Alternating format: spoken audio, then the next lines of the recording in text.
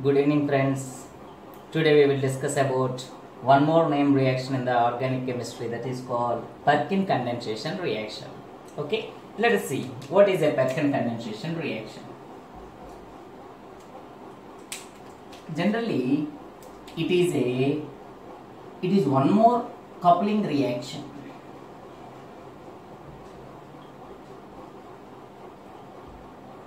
between aromatic aldehydes and acetic anhydride. Acetic anhydride. In presence of base to yield alpha beta unsaturated carboxylic acids okay? It is a coupling reaction in which aromatic aldehydes when treated with acetic anhydride in presence of a base to yield alpha beta unsaturated carboxylic acids. In this particular regard the first alpha beta unsaturated carboxylic acid synthesized was cinnamic acid It is an acid obtained from cinnamic bark or active constant of cinnama, Cinnamomum zeylanicum, I think. Okay, so it is a coupling reaction in which aromatic aldehydes and acetic anhydride combine together in presence of base to yield alpha beta unsaturated carboxylic acids are also called cinnamic acid cinnamic acid derivatives are going to be prepared by using this particular condensation reaction. It was first synthesized by William Henry Perkin. Hence this reaction is called Perkin condensation reaction. So in the same manner we can also synthesize some coumarins anticoagulant agents okay? So these are all alpha beta unsaturated carboxylic acids. That is the main advantage of this particular name reaction. Let us see the overall reaction of this Perkin condensation reaction.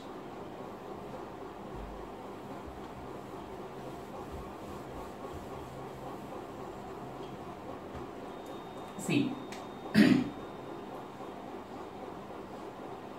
it is a benzaldehyde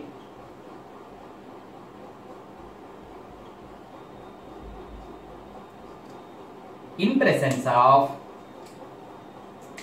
anhydrides. Acetic anhydride.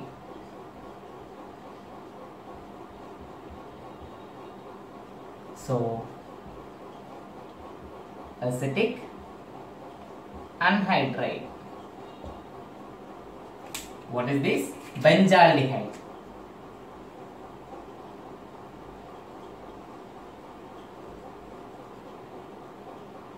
in presence of base. You know very well about some organic bases. Sodium ethoxide or CH3 CH2 ONE to yield alpha beta unsaturated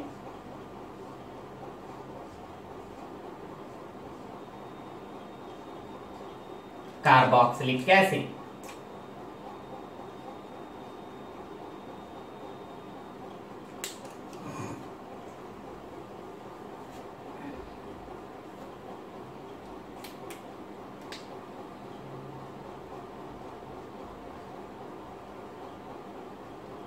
CH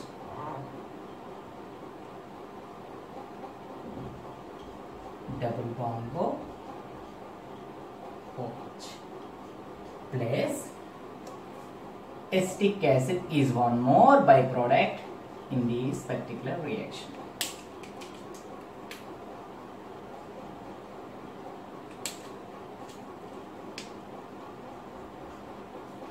It is A alpha beta unsaturated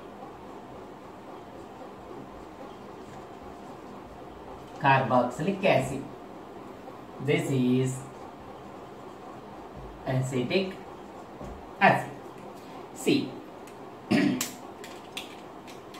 is an aromatic aldehyde in presence of anhydrates. You know very well about this anhydride group when we were discussed about functional groups. So, aromatic aldehydes when treated with acetic anhydride to yield alpha beta unsaturated carboxylic acids and acetic acid in presence of organic acids. Okay, so this is the overall reaction of Perkin condensation. Okay, let us see. For example, if we take another example, like instead of benzaldehyde, if we take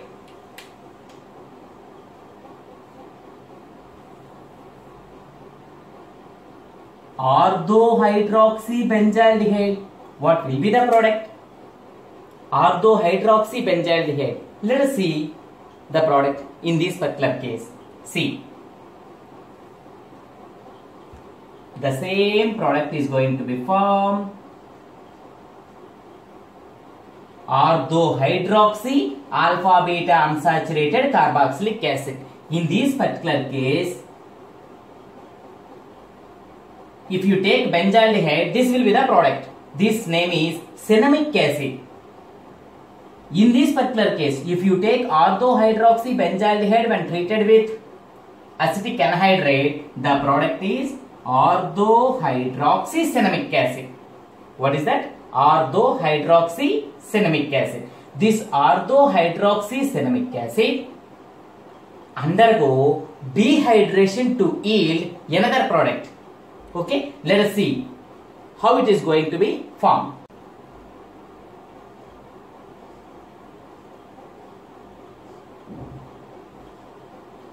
This is benzaldehyde. Orthohydroxy benzaldehyde I have taken. This orthohydroxy benzaldehyde in presence of acetic anhydride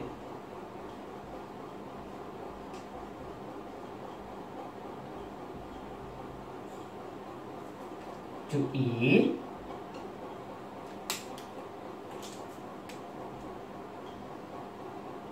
as like cinnamic acid CH it is an alpha beta unsaturated carboxylic acid na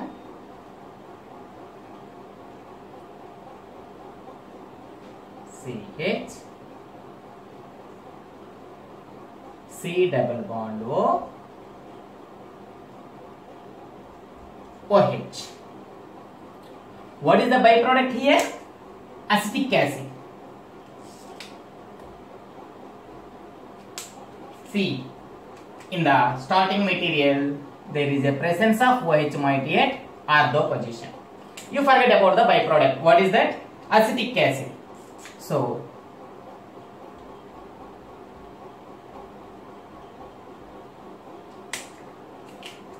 acetic acid is the byproduct. You forget about that byproduct. Okay? So orthohydroxy benzaldehyde other name for this one is salicylaldehyde. Salicylaldehyde.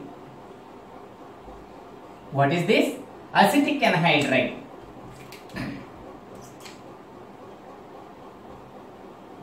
acetic anhydride.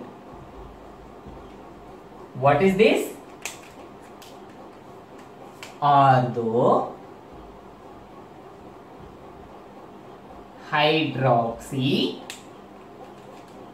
cinnamic acid. Cinnamic acid same as like Perkin condensation, normal Perkin condensation. Okay. So whatever the orthohydroxycinnamic acid is formed,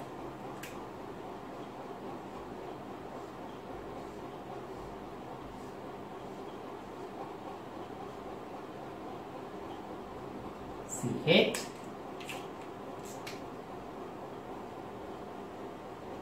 double bond CH C double bond O OH and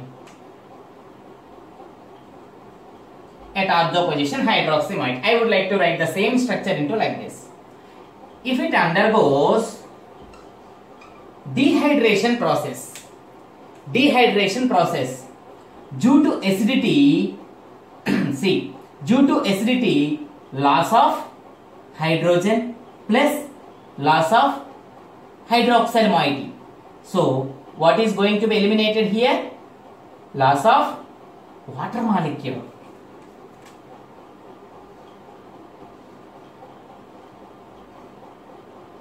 In this particular case,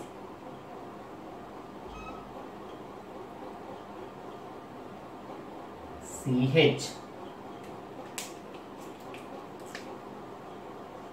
double bond CH C double bond O. H plus is going to be removed followed by OH minus. So there is a cyclization between the side chain and the aromatic ring. Okay, these are called coumarins.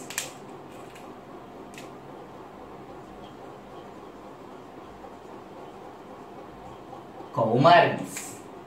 Okay, so that is the advantage of Perkin condensation. In the case of pure benzaldehyde, we have obtained the cinnamic acid. If you take salicylaldehyde or orthohydroxy benzaldehyde in the same manner, it is going to produce coumarins. You know very well about the coumarins act as an anticoagulants. Okay, this is the advantage of Perkin condensation. Okay, you can write any one of the overall reaction. But the first reaction was synthesized by using this particular Perkin condensation was synthesis of cinnamic acids from benzaldehyde and acetic anhydride in presence of sodium ethoxide. Okay, let us see the mechanism. What was the reagent we have taken here?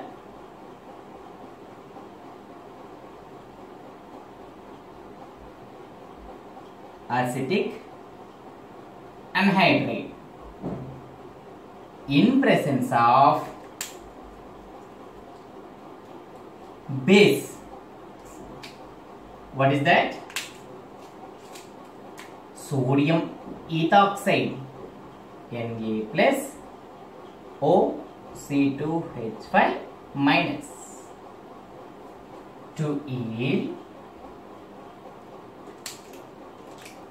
this base has a tendency to, to remove alpha hydrogens. This is the carbonate functional group. Adjacent carbon is called alpha carbon. It removes alpha hydrogens in the form of H plus. Then carbon attains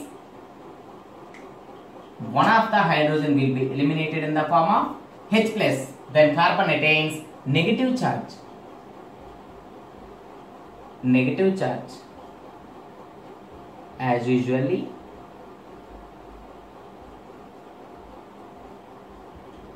What is this? Carbanion. Along with this carbanion, one of the H plus is removed as well as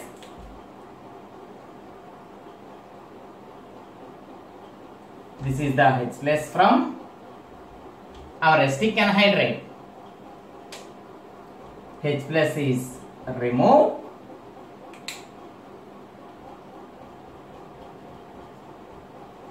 this is the I mean these are the another ions in the same reaction medium itself. Okay? So in the first step acetic anhydride in presence of base produces carbanion. Carbanion. What is step 1 formation of carbanion. So in this step acetic anhydride in presence of base produces a nucleophile called carbanion. Negatively charged ion carbanion okay? In the case of second step. So what is our starting material?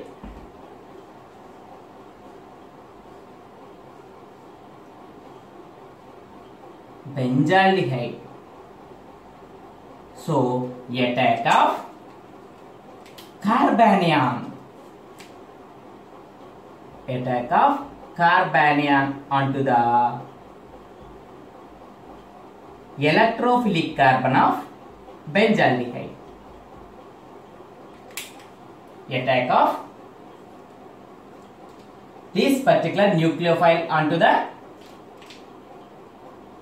electrophilic carbon of benzaldehyde. So thereby what may be happen? The bonded electrons between carbon and oxygen will be shifted to oxygen. Thereby it forms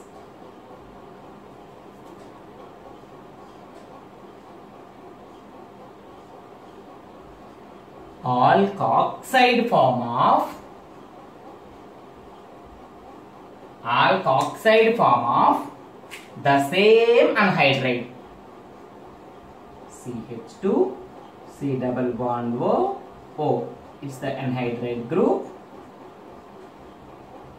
Alkoxide form of anhydride. Have you understood? So the benzaldehyde is being attacked by the nucleophile which was generated in the first step itself attacks on the electrophilic carbon to yield alkoxide ion of anhydride. Okay, so in the next step, the alkoxide form of benzaldehyde. The alkoxide form of benzaldehyde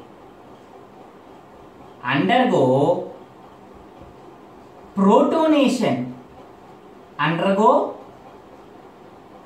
protonation in presence of a proton which was already generated in the first step itself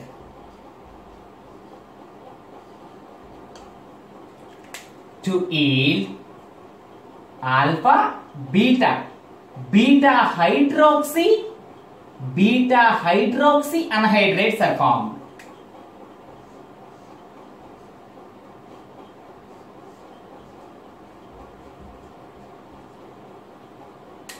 Beta hydroxy anhydrates are formed.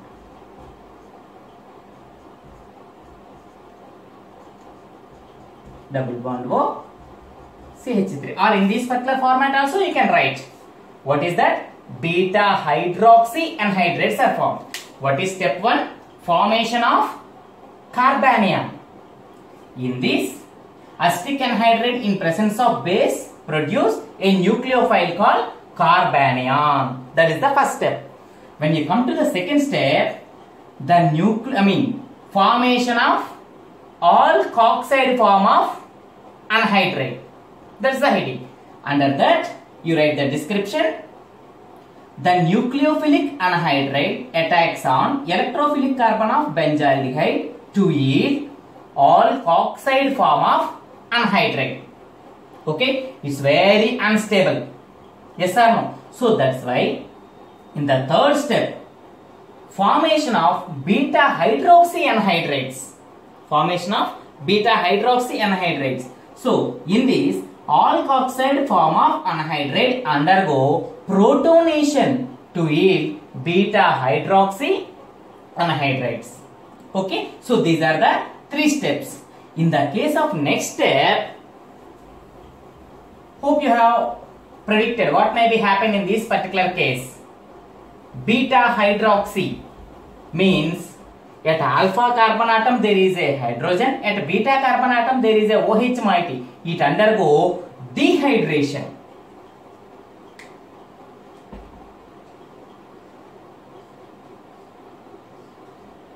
Whatever the beta hydroxy anhydrate is formed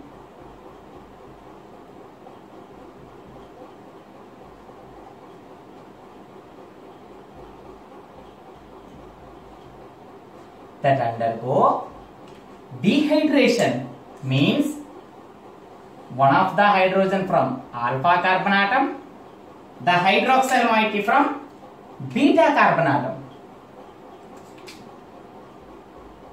the hydroxyl moiety from beta carbon atom eliminated in the form of water.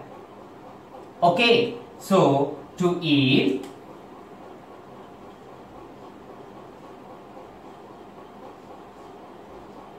you know very well about this. Alpha beta unsaturated. Alpha beta unsaturated. What is this? Anhydride. Alpha beta unsaturated. Anhydrates are formed. That is the third step. Okay? So in the first step formation of carbanion in the second step formation of alkoxide ion alkoxide ion or alkoxide form of anhydride. in the third step formation of beta hydroxy anhydride. in the fourth step formation of alpha beta unsaturated anhydrates alpha beta unsaturated anhydride. this alpha beta unsaturated anhydride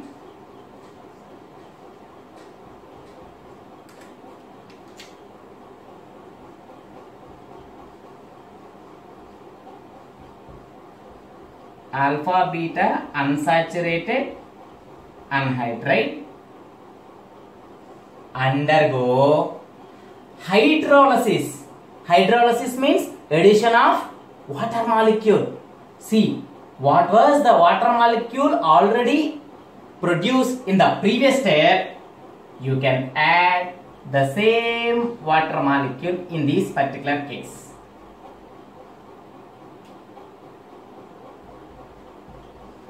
Now, you know very well about the ester bonds. Esters readily undergo hydrolysis. It is one type of ester bond. This is one type of ester bond. So, these ester bonds, any one of these ester bond undergo hydrolysis to yield carboxylic acids and another carboxylic acid. Okay. So, esters undergo esters, I mean especially these particular anhydrides undergo hydrolysis to yield two molecules of carboxylic acids. Okay, but if it is only single ester, it undergo hydrolysis to yield carboxylic acid and alcohol. Now you may get one doubt: which ester is going to be cleaved? That means remember, this is the ester. Disturbance at where between these two. So it's the good electron donating group than acetyl moiety. So here the electrophilic carbon atom can be compensated by can be compensated by this electron donating moiety. But here it's very small electron donating moiety when compared with this one. So that's why the electrophilicity is more at this particular carbon atom. Again I am telling you. So the doubt is where the ester bond is going to be cleaved. Okay, here the ester bond is either the bond must be cleaved at here or here. Okay, so now we have to talk about the the nature and the strength of electrophilic carbon atom. Both are electrophilic carbon atoms, no doubt at all.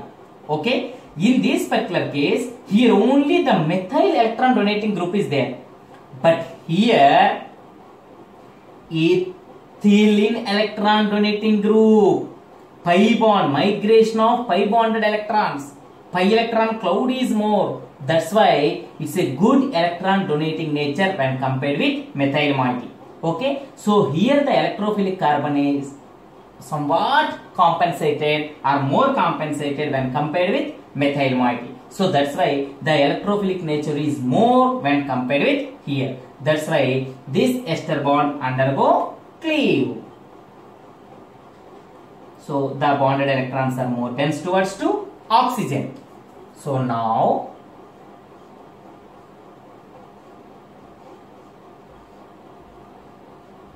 CH double bond. CH C double bond O.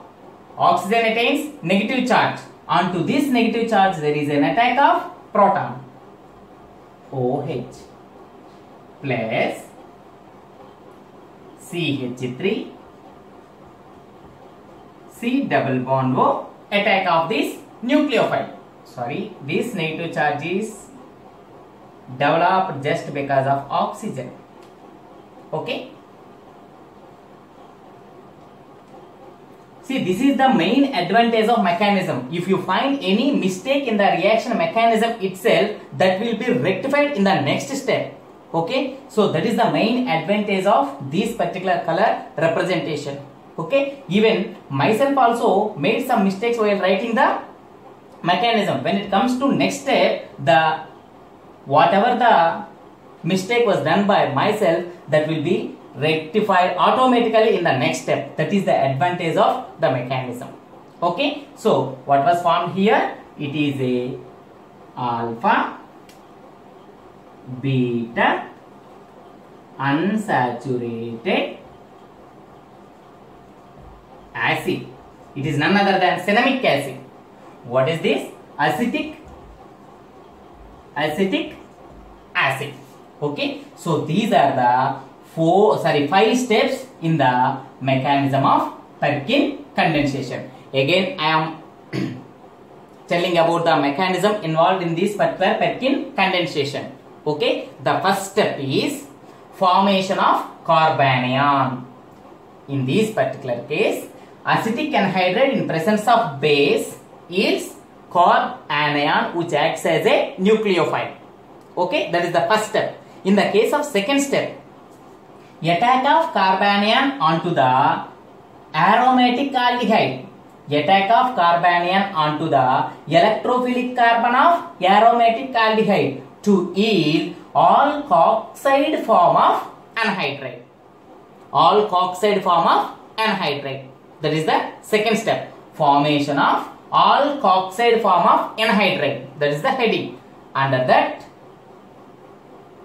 attack of nucleophile onto the electrophilic carbon of aromatic aldehyde to yield all alkoxide form of anhydride. That is the second step. Third step, protonation of all alkoxide form of anhydride. Protonation of alkoxide form of anhydride or formation of beta hydroxy anhydrides. In this case, what may be happen? Alkoxide form of anhydrides undergo protonation to yield beta hydroxy anhydrides. In the fourth step, beta hydroxy anhydrides undergo dehydration to yield alpha beta alpha beta unsaturated anhydrides. That is the fourth step. Formation of alpha beta unsaturated anhydrides. Under that you write the description. Beta hydroxy anhydrides undergo dehydration process to yield alpha beta unsaturated anhydrides.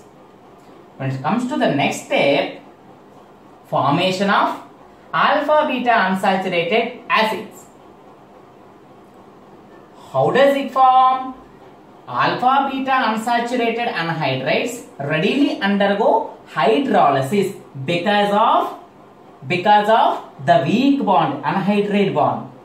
Alpha beta unsaturated anhydrides undergo hydrolysis to yield alpha beta unsaturated carboxylic acids. That is the fifth step. Okay. In the same manner, you can also write the synthesis of coumarins from salicylaldehyde or orthohydroxy benzaldehyde.